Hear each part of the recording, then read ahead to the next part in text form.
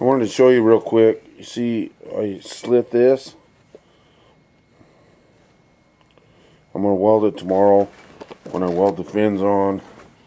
And this is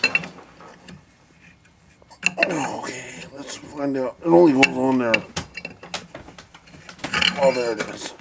See, it goes on there one way. And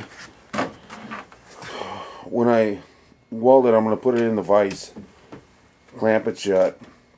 It's already got a, it's already got a little groove in there, and then I'll weld it. That'll make it even a little bit tighter.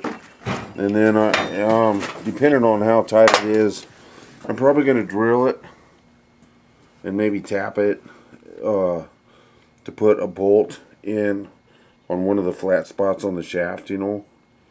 So that's part of the gig. Anyways,